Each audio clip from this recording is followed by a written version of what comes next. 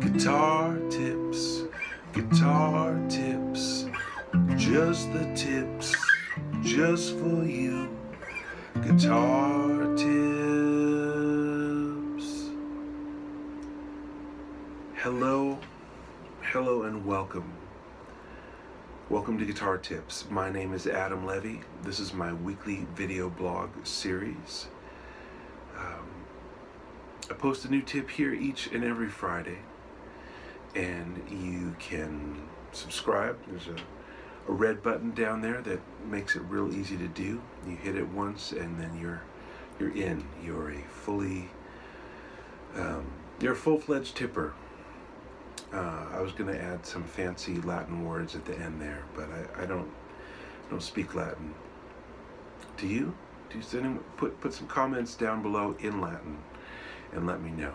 um, speaking of comments, I want to thank everyone who uh, wrote in last week um, recommending their favorite guitar books. A lot of people liked Randy Vincent's book. Um, three note chords and beyond and actually bought it and I've been enjoying it so thank you for recommending that lots of other good books um, yeah it was I think that was the most feedback I've gotten on any tip so um, just know that I'm I'm uh, I'm listening I'm really curious to know what you guys are uh, thinking about and working on so um, this week oh I, I, need to mention our sponsor. Uh, as always, we are sponsored by Martin Guitar Strings.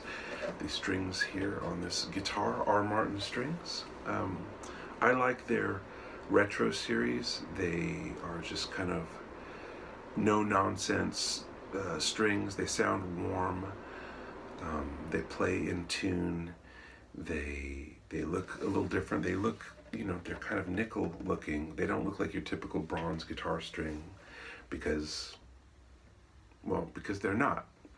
Uh, and anyway, I want to thank Martin for uh, supporting supporting guitar tips and for making uh, some excellent strings that I use every day. Um, this this week's tip uh, seems like I'm I'm talking about jazz a lot these days. I, I hope that's that still interesting to most of you. Um, if you're waiting for a tip, uh, if, if you're tired of jazz or just want to talk about other stuff, once again, please uh, please do comment down below because uh, I'm curious to know what, what you guys are working on at home. Uh, but this came up because, uh, I don't know, I was doing a little bit of teaching and, and thinking about these, these different chord voicings and um, I noticed that a lot of my students are still perplexed by um, the, the terminology that you sometimes hear around jazz guitar chords. There, there are drop two chords, those are pretty common. There's another family of chords called drop three, and there's another family called drop two and four, or drop two, drop four, however you want to say it out loud, but the two and the four are dropped. So, um, this week's guitar tip is what the drop what the drop, what the drop is going on with all these chords. What are what are, what's being dropped, and what are people talking about, and why should we know these chords? So, um, the the the idea of drop chords is basically um, spreading out the harmony that you're using. Uh, let, let's say, for example, we had a C major 7 chord, okay? This, and you wanted B in the melody. So this would be the most direct way to get at that. We're just going, that's as, as closely squeezed together as you can get all the notes in that chord. A C major 7 chord is C, E, G, B. Um, that's the how you construct it, uh, and that's how we're playing it here. We're not not doing any funny business to to uh, move the notes around. We're just playing the chord as it is. This is a textbook C major 7 with the B on top, that's the 7. But of course, sometimes you might not want that real close uh, harmony sound. You might want a more open sound like that. So that's the same melody note on top, and the same notes but just moved around a little bit. So instead of C, E, G, B, this is G, C, E, B, and you can also play that voicing here on the different string set. I, sometimes I'll do it with a double stop here. So that's just a little kind of more open and and uh, this is this is the closed sound. This is open. We could open it further. This is another kind of voicing, and, and I'll get into what these are, but I'm just showing you what the what the sound is here. So now I've got E, C, G, B. Still have the B on top. Not adding any notes other than the notes of the C major seven, but we're just re reconfiguring them. And there's another one down here again, you could move these over to different string sets. It's not it's not so much about the location as the, as the structure. So this is C, G, E, B. And of course you could make it a minor seven chord or dominant seven chord minor seven flat five chord. There's, this works for any kind of four note uh, chord. So, so so this this is what we call a root position closed voicing chord. It's called root position because root is in the bottom, and it's closed voicing because all four notes are squeezed within an octave span. That's as close together as we can really get those notes uh, for C major 7. This chord is a drop drop 2 voicing. Now, okay, what the drop? What happened there? So here's how drop voicings work. We look at our root position closed voicing chord here, and instead of looking at these notes uh, as how they function, which is normally what we like to do, or what I like to do, root three, five, seven, we're just gonna count them down from the top like we don't really think about the function, we're just counting them now. We're just we're just counting like like the count on Sesame Street. So we've got one, two, three, four. We're counting down from top to bottom. One, two, three, four. So if we drop two, in this case that's that's the G.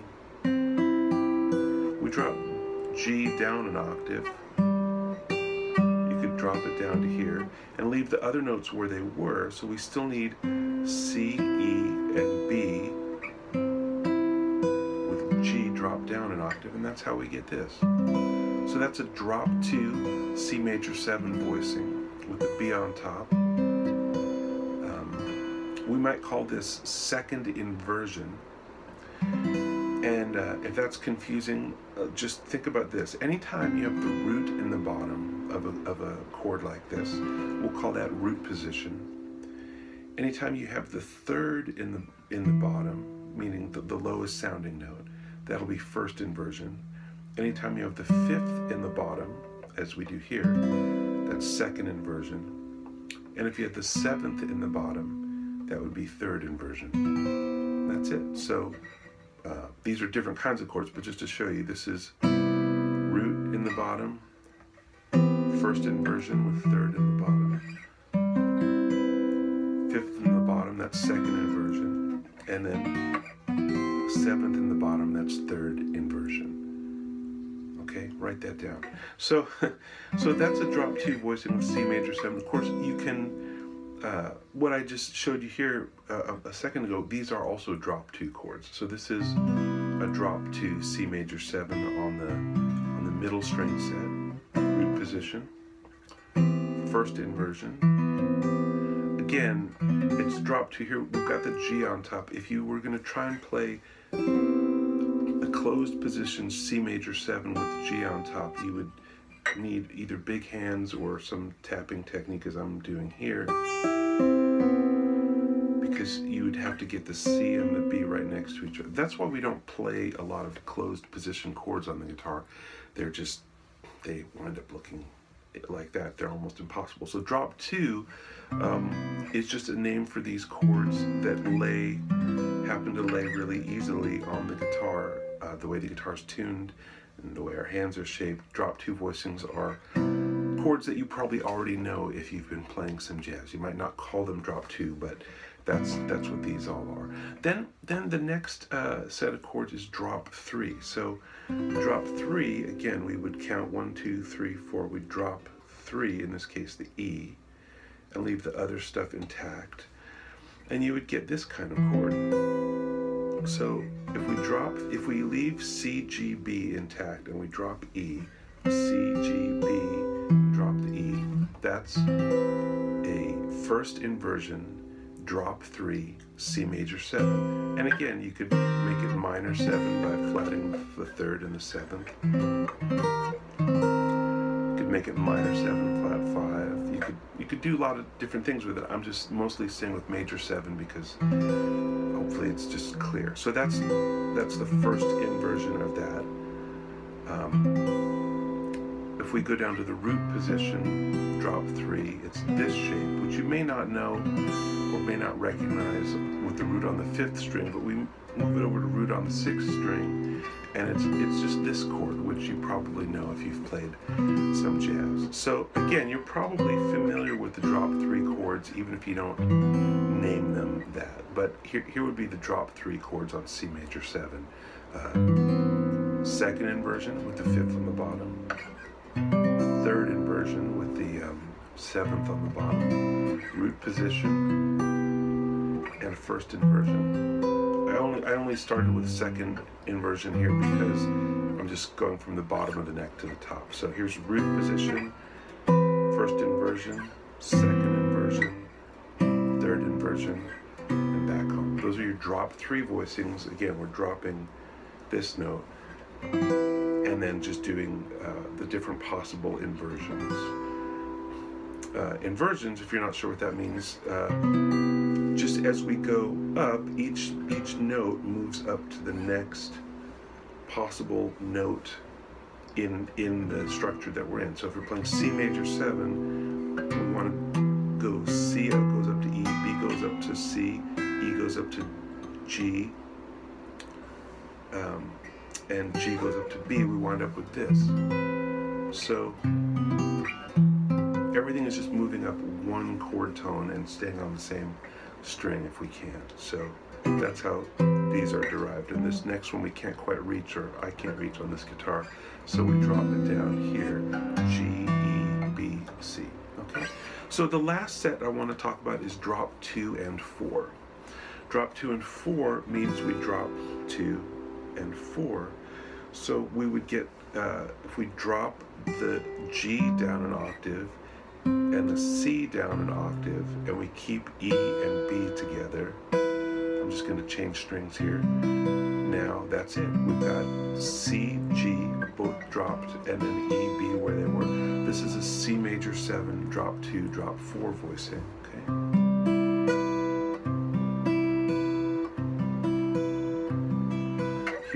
Here's the first inversion. second inversion, third inversion.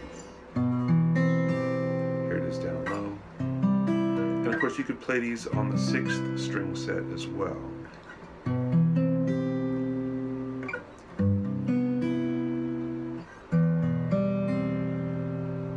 Really nice, big, warm sound.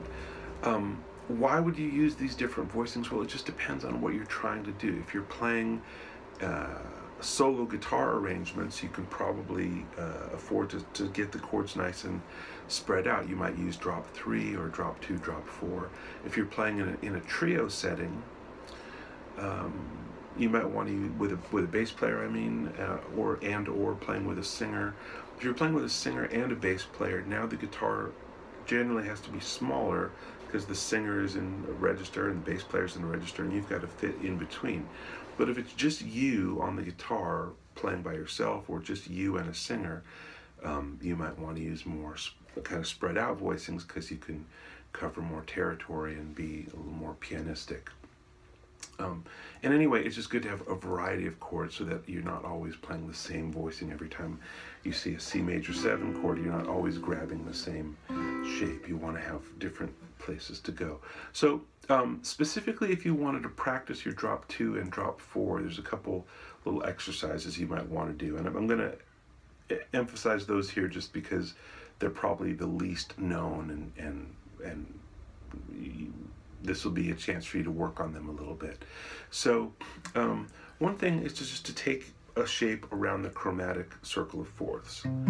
C, F, flat, E flat, A flat, D flat, G flat or F sharp, B, E, A, D, G, and back home to C. And you could do the same thing on the on the sixth string set. Sixth str the string set with a sixth string root. So C, F, B flat, etc. Um, you could also do the diatonic circle. So that would be staying in the same key but using different chord qualities as they come around. So C major 7, that's the 1 chord. F major 7, that's the 4 chord. B minor 7, flat 5. So here I've had to move the 5 down and the 7 down. So B minor 7, flat 5, E minor 7, A minor 7, D minor 7, G7, C major 7. So again, I, those are just the chords in the key of C, C major 7, D minor 7, E minor 7, F major 7, etc. Just the chord scale, but but going in a in a circle of fourths root motion. So C major 7, F major 7, B minor 7, and you can do the same thing on the fifth string set. B minor 7, flat 5, E minor 7, A minor 7, D minor 7, G7, C major 7. I find that's a good exercise because jazz tunes tend to move in that kind of root motion and um, I don't know, to me it's a little more interesting than just playing up the chord scale and back, though you certainly can do that. Do that too. Um, then, you know, you might want to practice voice leading. So um, instead of jumping around in parallel, uh, you might go like here's A minor 7, second inversion, so E, A, G, C, D minor 7, and we voice led. So instead of going to this D minor 7 way up here, we're letting things, C stays and A stays. And then when we want to go to G7,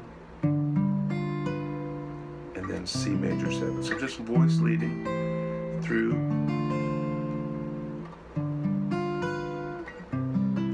And you could do that with the diatonic circle of fourths exercise that we did a moment ago. So you could go C major 7, F major 7, B minor 7, flat 5, E minor 7, A minor 7, D minor 7, G7, C major 7, and you could do it on the, these low strings too. C,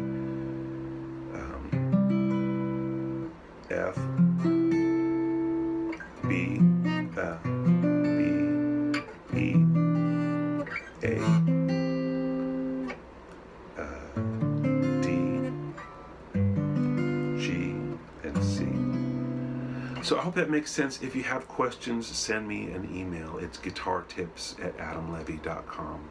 Write some comments down below. Let me know uh, if this makes some sense to you. Um, let me know how you're using it in real music. I would encourage you guys, as I've said before, if you're if you're working on something, put it into some real music. Either write an arrangement of a tune that you like using these chords, or just write write a tune. It, it doesn't have to be a whole composition. It could be a four chord uh, vamp section or an eight chord vamp section or just two chords. Just pick two chords that you want to put together and uh, work back and forth and maybe improvise with. Um, turn it into music. Don't let it just stay some papers on your music stand. Um, bring it onto the guitar, bring it into your ears, bring it into your fingers, and uh, bring it into the world. Um, what the drop? What the drop, people? My name is Adam Levy. This is Guitar Tips. Please subscribe. Tell your mom, tell your pa. Um, I'll see you next week. Stay tuned and take good care.